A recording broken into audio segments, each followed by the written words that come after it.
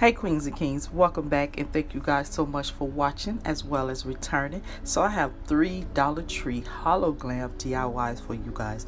If you guys would like to see how I recreated these items, please continue to watch. So for our very first DIY, we're going to need a skull, which I already pre-painted it um, a glossy black as well as a matte black. Cute, isn't it? to use the stencil brush as well as some scissors. Um, these jewels came from the Dollar Tree, no, Target Dollar Spot. This paint came from Walmart as well as the glitter and the paint was like 56 cent and the glitter was um, 88 cent. And we're also going to use Dollar Tree Red Roses, which the color is optional. And we're going to use our glue gun as well as glue stick. Now moving on. So what we're going to do is take our stencil brush here and we're going to pour some of the black paint on there and we're going to re-stencil in the area that we have the matte black paint that you already see. And I'm using the paint for a glue base. As a glue. Whatever. Then I'm just gonna sprinkle my glitter all over the places where I just put that black paint at and I'm putting glitter on here just to give another contrast. So this is how it look. It's cute and everything and we're going to pour the extra glitter back into the container. Now we're going to take our red roses and we're going to pluck them off the stem there and we're going to cut that extra off the back of the rose. Um, because we wanted to try to lay it down as flat as possible but don't cut too short because if you do the flower will fall apart. Then next we'll take our glue gun and we're going to place a large amount of glue on the back and we're going to place that red rose right directly in front of the first red rose.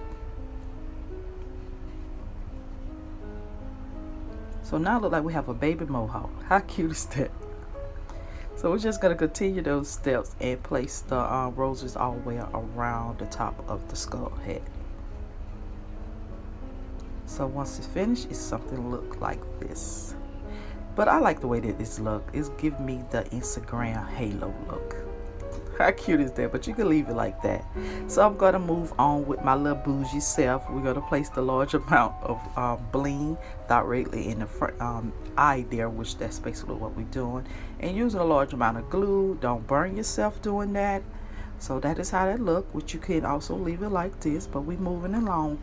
We are moving along. We're going to place some more of the bling in there and basically just give it like a junk look. You know how the, the nails look with all the little bling just on top of bling just bling overkill basically. That's what I'm trying to do right here.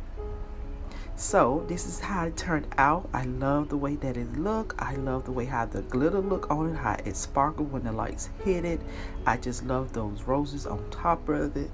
It's just so cute. Just a little chic and I just have it placed on top of these pick your poison books DIYs that I did last year. So I will be giving you guys a tour of my buffet pretty soon.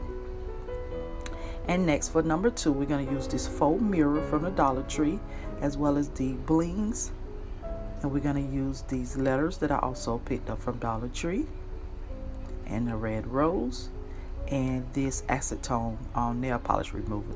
Believe it or not it came from the Dollar Tree um, our glue gun and glue stick. So we're going to take our acetone and pour it on uh, this napkin that I have here, which I forgot to mention that you're going to need something to pour the acetone on. So we're going to remove the skull head off the face of this mirror here. And be very careful if you do not want to move the details that's around the skull head because those that can actually be uh, removed also with the acetone. So you're going to continue doing this till you get a very clean look um, that you want or the desired look that you want, whatever your preference is. So this is how I look. And now we're just going to take our bling, then we're going to take our hot glue gun and place um, a small amount of glue. And we're going to place a bling directly on top of that glue.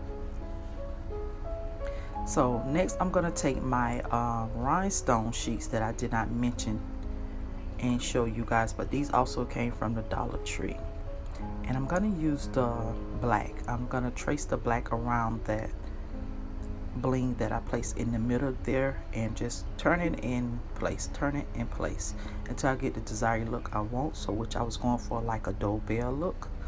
And now I'm just to take my stickers and I'm just to spell out whatever I desire to spell out which you can do the same. And what I'm to spell out is press for candy.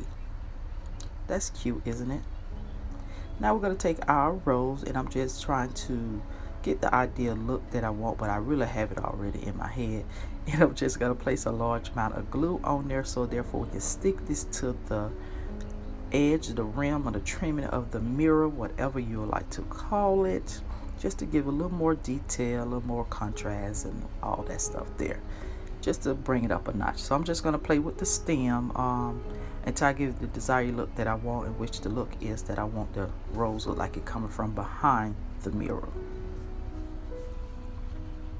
So this is how it looked. This is how it turned out. I love the way that it looked. And as you can see, I did two of those skulls. I could not just do one. Just super cute and everything. I love the way how these look on my buffet. Like I said before, I'll be giving you guys a tour of that pretty soon. And this little skull here, he have a little diamond on his teeth, honey. Cute, cute, cute. So moving along with DIY number three, we're going to use our Dollar Tree wine glass. Uh, we're going to use our matte black paint as well as a glitter and some paper. So I'm just going to lean this glass over to the side and just squeeze some of the um, black paint down on it. Just a nice amount that you know that it will start to running and everything like that and we're just going to continue that all the way around the glass until I get the desired look that I want.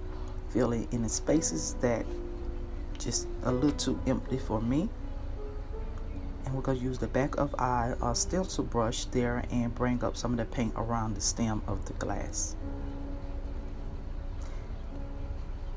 And at this point I like that look. So now I'm going to take my glitter and sprinkle it on the wet um, paint and you're gonna let this dry overnight because once it all finished and done honey they are too cute.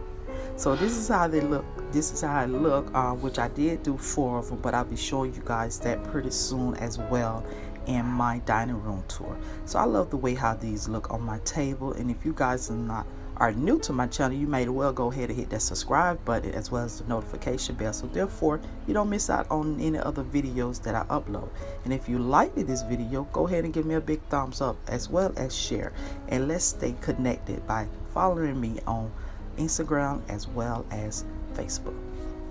Thanks for watching. Bye.